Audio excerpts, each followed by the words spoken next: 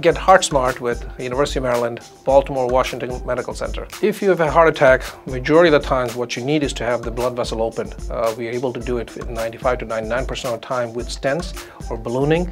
Um, there are a small percentage of patients who have a heart attack certainly do an acute heart attack do need bypass surgery. Bypass and stenting are just improving the flow to the muscle of the heart, um, whereas stenting is done through either, most of our patients are done through the wrist. Uh, if we can't go from the wrist, we go from the leg, go all the way to the heart. We inject dye in each of the blood vessels, and then we see how many vessels are blocked, where the blockages are located.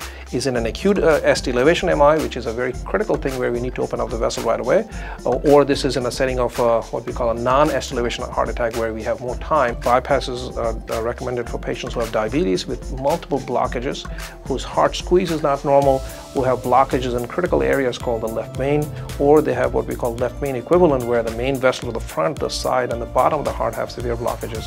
Um, but we have what we have, uh, we have a multidisciplinary approach for these patients that we discuss with a, uh, a, CT surgeon who does the bypass surgery along with discussing with the patient and the families and make uh, informed uh, decision as to how we're going to treat this patient, how we're going to revascularize this patient.